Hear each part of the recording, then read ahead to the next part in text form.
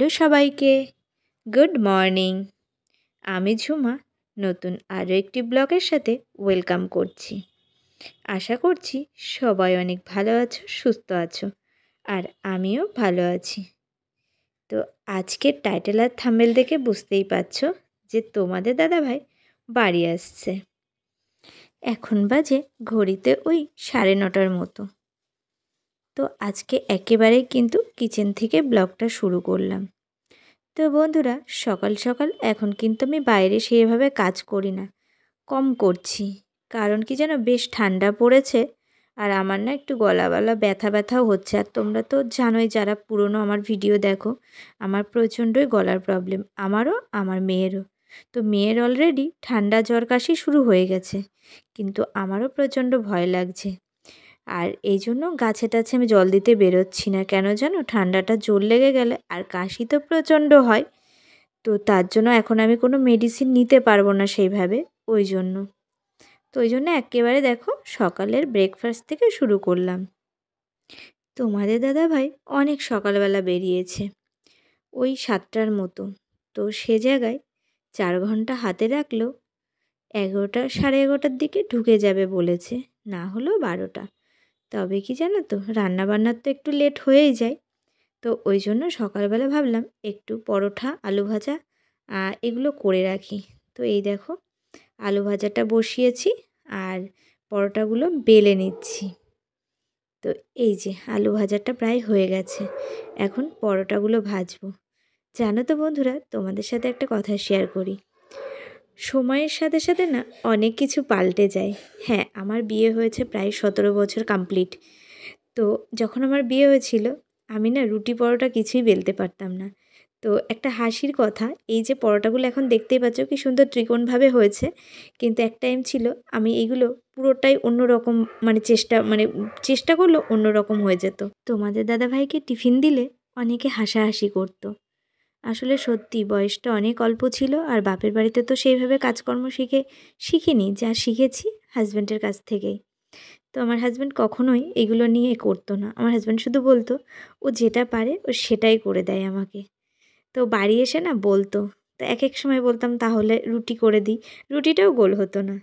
তো এখন দেখো সময়ের সাথে সাথে সব কিছু একেবারে ম্যানেজ করে ফেলেছি মানে সব শিখে নিয়েছি। তো দেখো ফটাফট করে পরোটাগুলো ভালো করে ভেজে নিলাম। তো চলো, এখন আমি আর ইস্যু সকালবেলার ব্রেকফাস্ট করব। তো আজকের ভয়েসটা আমি সকালের দিকে দিচ্ছি, জানো তো? রাত্রেবেলা যেহেতু পরের দিনের ব্লগ যেহেতু তোমাদের দাদাভাই বাড়ি চলে এসেছিল, রাত্রেবেলা আমার সেইভাবে টাইম হয়েছিল না। তো ওই জন্য সকালে দিচ্ছি, আর পাশের বাড়ির রক্সি এত চিল্লাচিল্লি করে, আমি সেইভাবে কোনো কাজ করতেই পারি না।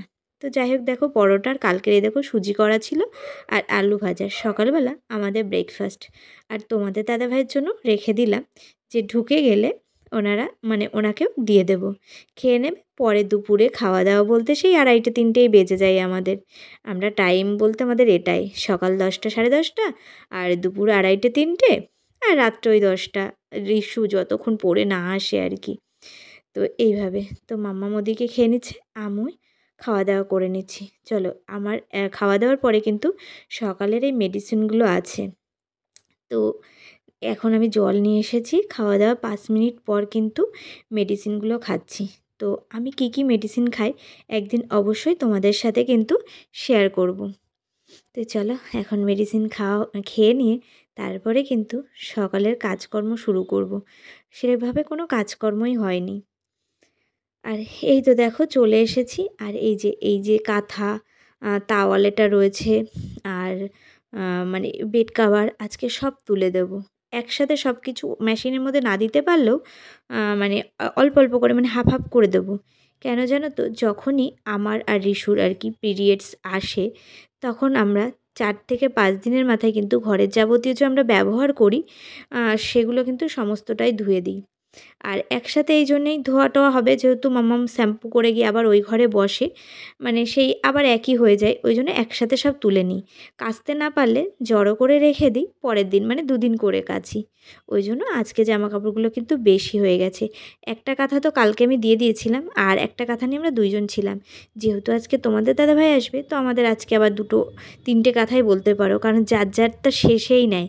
কারণ এত টানাটানি করে তো একটার মধ্যে সবাই শুতে পারা যায় না সবার আলাদা আলাদা আছে আমাদের বাড়িতে। ঠিক আছে বেড একটাও হলে সবার কিন্তু আলাদা আলাদা, বালিশ আলাদা আলাদা, কাঁথা নিয়েই কিন্তু সবাই শোয়।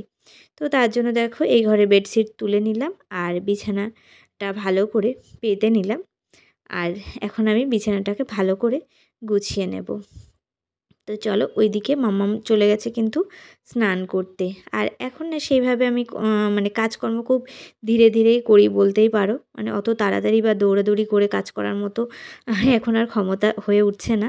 তো লেট হলেও কিছু করার নেই। তবে একেবারেই তোমাদের দাদাভাইও কিন্তু আসার একদম টাইম হয়ে গেছে। তো আমি ভাবছি তার আগে যেহেতু ঘরটা গুছিয়ে ঝাড় দিয়ে মুছে রাখতে পারলে তারপরে আমি ওদিকে রান্নাবান্না করতে যাব। তো এই দেখো, সমস্তটাই এখন ভালো করে ঝাড় দিয়ে নিচ্ছি। আর ওদিকে অনেকে না আমাকে জিজ্ঞাসা করছ যে, দিদি ভাই তুমি কি সত্যি সত্যিই প্রেগনেন্ট তো আমি আগেও তোমাদেরকে রিপোর্ট দেখিয়েছি বা আমার যে কিটের টেস্ট করেছিলাম সেটাও দেখিয়েছি। তো মিথ্যে কথা বলাটা তো কোনো কথাই না। আর ভিডিওর জন্য আমি কিন্তু কোনো মাতৃত্ব নিয়ে আর কি ভিডিও করব না, তাই না? তো যাই হোক, যেহেতু আমি কিন্তু অনেক বড় ব্লগার নয়, আমার অনেক বড়, অনেক অনেক ভিউ কিন্তু আসে না। আমি শুধুমাত্র আমার টাইমটাকে তোমাদের সাথে একটু লাইভটাকে শেয়ার করি বাস এইটুকুই ভালো লাগে। আমার অনেক বন্ধুরা আছো যারা আমাকে অনেক ভালোবাসো। তো যে হয়তো জিজ্ঞাসা করেছ, হয়তো নতুন ব্লগ দেখছ আমার কয়েকটা দিন, যেহেতু আমার মেয়েটা বড়, ওই জন্য ভাবছ। তো হ্যাঁ আমি সত্যি, সত্যিই প্রেগনেন্ট আর আমার হচ্ছে মেয়েও একটু বড়ই হয়ে গেছে। তবে প্রথমে আমরা ভেবেছিলাম এখন আমরা নেব না। নেব না বলতে নেবই না। তারপরে আমার মেয়ের ইচ্ছাতে কিন্তু আবার পরে যাই হোক আমি ডাক্তার দেখিয়েছিলাম, কিন্তু তখন কিন্তু আর হয়নি। ওই যে বলে না, ভগবানের দান তুমি চাইলেই কিন্তু হবে না। তো সেই জন্য আমরা আগে প্রায় রিশু যখন ফাইভে পড়ে, তখন থেকেই কিন্তু আমরা চেষ্টা করেছিলাম বা ডাক্তার দেখিয়েছিলাম। তো দু বছর মতো ডাক্তার দেখিয়েছিলাম, তখন হয়নি। তো তারপরে আমরা ছেড়ে দিয়েছিলাম যে, থাক, আর মেয়েকেও বুঝিয়েছিলাম যে, ঠিক আছে, আর যখন হবে হবে, না হলে কি করা যাবে? তো যাই হোক, সেসব কথা পুরোটাই ভুলে গেছিলাম।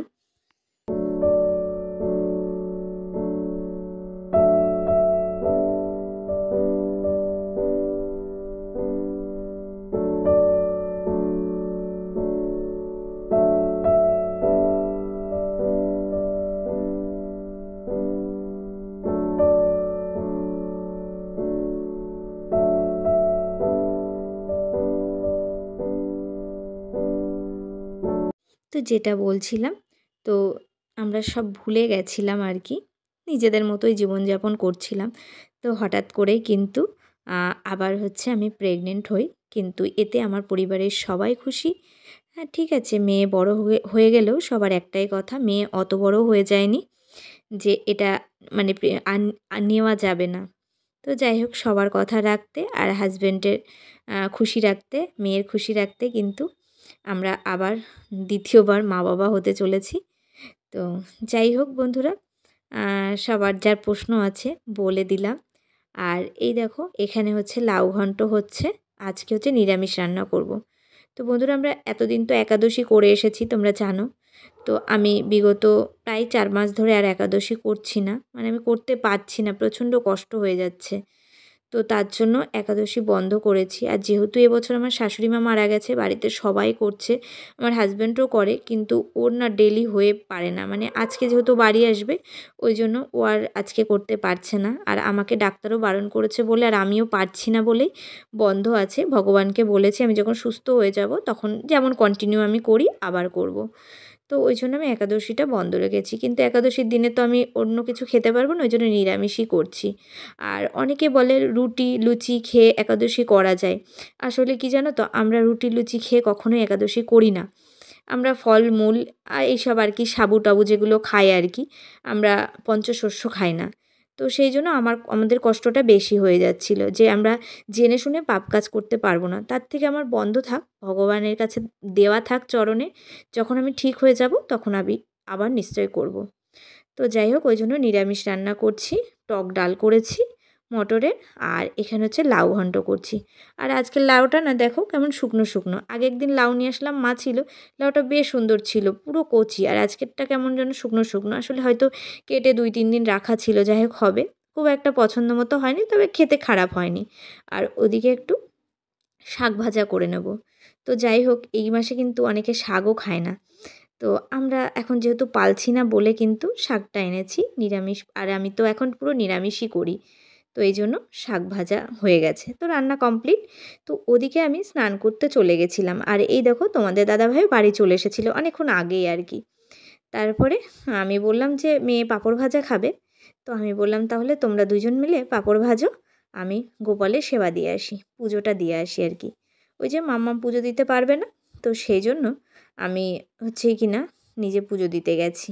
আর এদিকে বাবা আর মেয়ে মিলে মানে পাঁপড় ভাজছে দুপুরের খাওয়া দাওয়া হবে। ডালের সাথে একটু পাঁপড় না হলে নিরামিষের দিনে বেশ মজা আসে না। এটা আমারও ভালো লাগে, আমার মেয়েরও ভালো লাগে। তোমাদের দাদাভাই খুব একটা পছন্দ করে না পাঁপড় টাপড়, ওর একটু হলেই হয়। তো এটা আমাদের জন্যই আর কি। আমি বলে গেছিলাম, তো দুজন মিলে ভাজছিল আর এই যে বরমশাই একটু বাড়ি থাকলে আমার ভীষণ ভালো হয়। কারণ সব কাজ আমাকে একটু মাঝে মাঝে হেল্প করে দেয়, এতে ভীষণ খুশি লাগে। তো যাই হোক, এই দেখো। আর এখন এই জন্যই তোমাদের দাদাভাই এখন যেহেতু কাছে আছে মানে যখনই আমার ডাক্তার দেখানোর টাইম হয়, তখনই কিন্তু ও ছুটি নিয়ে বাড়ি আসে। কারণ আবার আমাদের দু, তিন দিন পর ডাক্তার দেখানোর ডেট আছে। আর সবাই সবাই চায় আর কি, সব বাবা মায়েরাই চায় যে যখন কোনো মানে প্রেগনেন্ট হয় আর কি, স্বামী, স্ত্রী, তো সেই সময় স্বামী সবসময় পাশে থাকুক। তো সবাই সেটা চায়। তো ও যেহেতু কাছে আছে আর কি, আসার সুবিধা আছে। ওই জন্য হচ্ছে আমি নিয়ে যাব খুনি। আর আমার না সত্যি ডাক্তার দেখাতে একা একা একেবারেই যেতে ভালো লাগে না। তো যাই হোক, দেখো এখন দুপুরবেলা খাবার টেবিলে ভাত বেড়ে নিয়েছি। ওদিকে তোমাদের দাদাভাইকেও দিয়েছে আর পুরোটা দেখালাম না, কারণ ও বেশিরভাগ তোমরা তো জানোই খালি গায়ে থাকে। তো ওই জন্য সবার সামনে ওকে ফুল দেখায় না, আর ও সেইভাবে ভিডিওতে আসতেও চায় না। তুমি করছ, করো। মানে ওর ভালো লাগে, কিন্তু ওই ক্যামেরার সামনে খুব একটা আসতে চায় না। তো যাই হোক, এখন এই দেখো চালতা দিয়ে টক ডাল করেছিলাম। আর ওদিকে রিশুকে খেতে দিয়ে দিয়েছি। আর এখন আমরাও মানে একসাথেই সবাই এই যে বড় বাটিতে করে ডাল নিয়ে নিচ্ছি, যাতে একসাথে সবাই আমরা খেতে বসতে পারি। তো গুড ইভিনিং বন্ধুরা। তো এই ভিডিওটা আমার লম্বাই করা হয়ে গেছিল। এই দেখো, রিশুর জন্য রিশুর পাপা কিন্তু গিফট নিয়ে এসেছে। তো চলো বন্ধুরা, তোমাদেরকে খুলে দেখাই। তো যেহেতু আমি এখন ভয়েস দিয়ে দেখাতে পারছিলাম না, তো এই জন্য এমনি দেখাচ্ছিলাম। কেন বলো তো? তোমাদের দাদা ভাই পাশের ঘরে একটা সুন্দর বই দেখছিল, আর ও বাড়ি থাকলে একটু বই দেখে। মানে ভালো লাগে, ও সাউথের বইগুলো দেখে। তো ওই জন্য সাউন্ডটা একটু বেশি ছিল, ওই জন্য কথা বলতে পারছিলাম না। ওই জন্য আমি ভাবলাম, এখন দেখিয়ে রাখি, তোমাদেরকে পরে ভয়েস দিয়ে দেবো। তো এখানে রয়েছে একটা স্মার্ট ওয়াচ তো এই ওয়াচগুলো বেরিয়েছে, সবাই হাতে দিচ্ছে, ওর বাবার পছন্দ। দেখো, আমি বলেছিলাম এমনি ওয়াচ লাগবে যেহেতু মানে পরীক্ষার সামনে। তো ওই জন্য একটা ঘড়ি লাগবে টাইম দেখার জন্য। মেয়েরও অত ভালো সব কিছু পছন্দ হয় না। আমি বলেছিলাম যে টাইমটা খুবই দরকার আর কি। তো একটা নর্মাল ঘড়ি কিনতে হবে। তো জানি না ওয়াশিং মেশিনের সঙ্গে ওর কিন্তু এই স্মার্ট ওয়াচটাও অর্ডার করেছিল। এটা সারপ্রাইজ আমরা জানিও না। ঠিক আছে? তো যাই হোক, আজকে নিয়ে এসে মেয়েকে গিফট দিল। আর সাথে কিন্তু আরেকটা ওয়াচও আছে, যেটা ওর পরীক্ষা দিতে যাবে। যেহেতু স্মার্ট ওয়াচ নিয়ে কিন্তু পরীক্ষা দিতে যাওয়া যাবে না। তো মানে এই ঘড়িটা খুব সুন্দর লাগছিল। বেলটাও খুব সুন্দর আর এই চৌকো বেশ মডেলটাও বড়, বেশ ভালো লাগছিল। আমিও কিন্তু সেইভাবে ঘড়ি কখনো হাতে দিই না, পছন্দ হয় না আর কি আমার।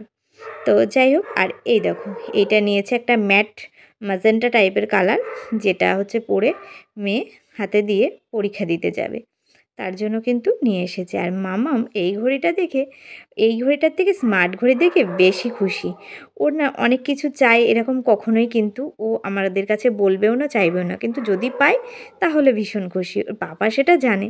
তো যাই হোক, ওই জন্য সারপ্রাইজ দেওয়ার জন্য কিন্তু এই দুটো ঘড়ি এনেছে। একটা পরীক্ষা দেওয়ার আর একটা এমনি পড়ার জন্য। তো যাই হোক, ঘড়ি দুটো কেমন হয়েছে অবশ্যই কমেন্টে জানিয়ে এটা বোট কোম্পানির আর কি।